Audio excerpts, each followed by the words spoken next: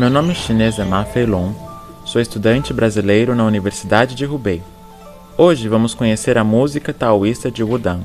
É um gênero musical solene e elegante, que combina elementos religiosos e palacianos. Consolidou-se como um estilo próprio durante a dinastia Ming.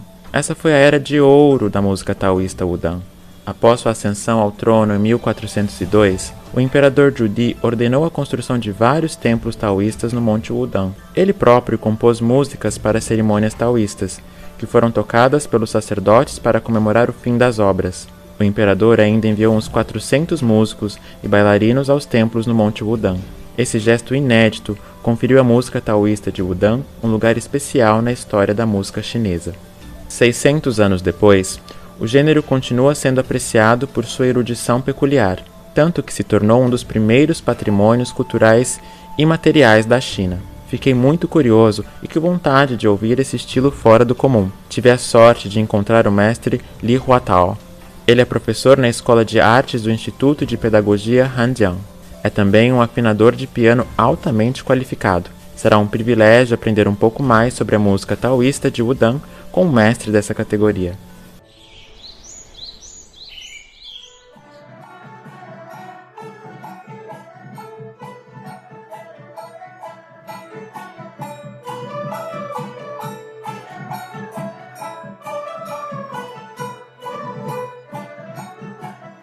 老师你好，呃，我从外面听到你们这个这个音乐，然后就比较吸引了。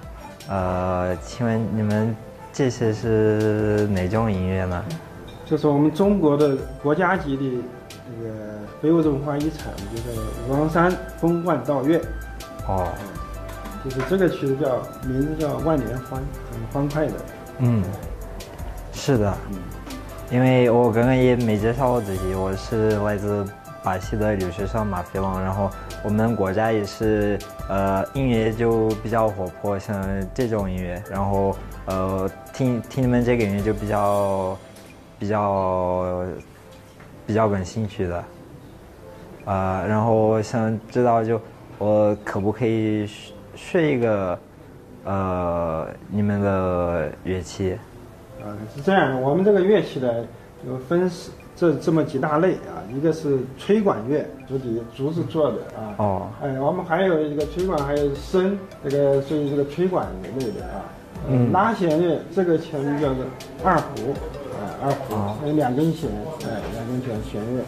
呃，后面呢还有这个中胡啊，中音乐器，哎，中胡，弹拨乐器，嗯这个叫扬琴，啊，扬琴，哎，那后面呢叫古筝，哎，对对对对，哎，那个前面这个就是琵琶，琵琶哎嗯。琵琶，后面那个叫中阮，啊，中阮，最后那个大一点叫大阮，哦。哎，另外还有一些特色乐器，打击乐器，哎，就是第一个呢叫是大铜磬，哎嗯。敲一下，嗯。展示一下，嗯，那个大铜器，嗯。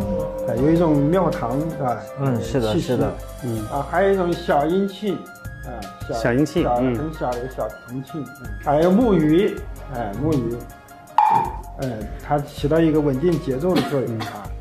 还有呢，就是这个小叉，哎，小叉，嗯，还有那个鼓，啊，啊，对，你看你就是这四大类，你看对哪哪一种乐器比较有兴趣，可以尝试一下。嗯，我觉得那个呃大铜器吧，大铜器是吧？嗯，好，那我们行，那老师那带来我们这个，试一下，我们到后面去体验一下，啊，好好好感受一下好，啊好，谢谢老师。啊。这个大铜器呢，它是道教特有的一种呃打击乐器，叫法器。嗯、它主要用在就是，你可能也来中国很久是吧？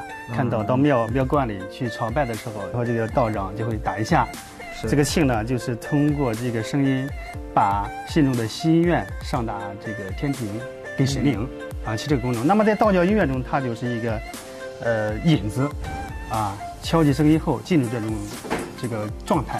啊，我们看一下这个，这个是木鱼，木鱼也是我们在这个庙观里，它一般用于念经啊啊念经啊，在这音乐中它就是伴奏了，好，伴奏起固定这个节奏的作用。这首歌它那个呃调不一样吧？第二个这一个是这个是中音，这是高音，你看高音它会很非常清脆，哎，这个是中音的，它就会非常厚实。哦，很浑厚。这样我们这样吧，我们能不能我教你一下，咱们敲一下，我们到时候呃演奏一下那个呃木本经啊，木本经那个花板木本经，就一拍一下，嗯，咱配合一段，行吧？啊，哎，这个更有意义，我觉得更有意义。木本经就是。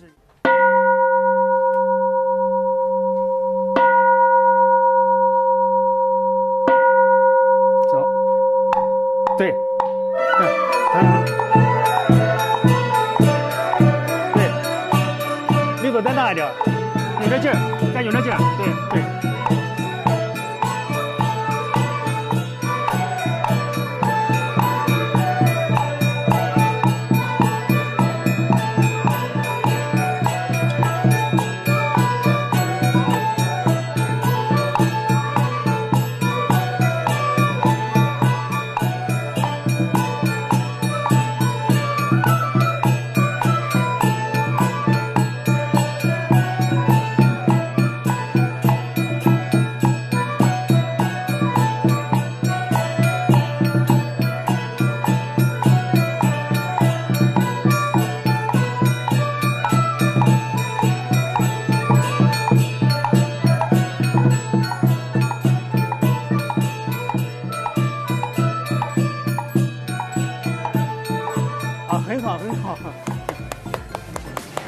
这说明我们这个中西音乐是相通的啊，心有灵犀，哎，呃，很不错，很不错，谢谢老师，哎，谢谢老师客气客气。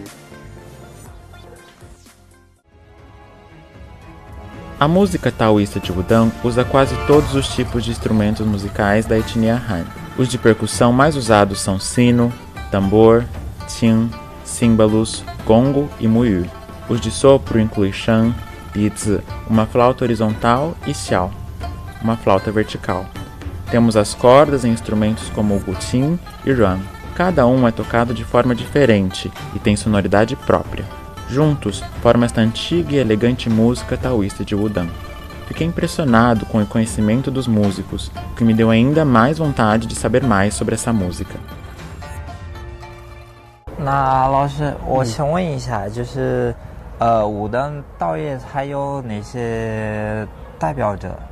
啊，从这个音乐的曲牌来讲，呃，有这个梦本金，嗯，大护生符，嗯，三清宫，还有这个小开门，嗯，还有就是万年欢。刚好你看我们今天上午你听到的，呃几首，呃，它都在里面。当然，武当山代表的曲目，这个这个就是它的道乐很多，呃，将近几百首，还是很丰富的，嗯、非常丰富。那你平时嗯呃，如果要出什什么演出的话，嗯。你们一般都比较喜欢演出那那那些那些音乐吗？我们要演出的话，就是刚我说的几首都是我们，呃，必须要演的，哦，哎，必须要演它，因为它是武当可以说目前就是，呃，代表性，嗯，最广泛的几首作品，嗯，不管是道协的乐团，还是我们这个汉江师范学院的道乐团，嗯，这些曲目都是必须要演奏的必演曲目哦，啊，必演曲目。嗯明白了。呃，然后还有一个问题嗯就是，呃，武当山的道乐跟中国其他地方的音乐，它有什么呃区别，或者它自己的特色是嗯哪些特色？啊，就是说道乐从总体来讲，它是集宫廷音乐、古典音乐和民间音乐之大成。那么武当山道乐也是这样的。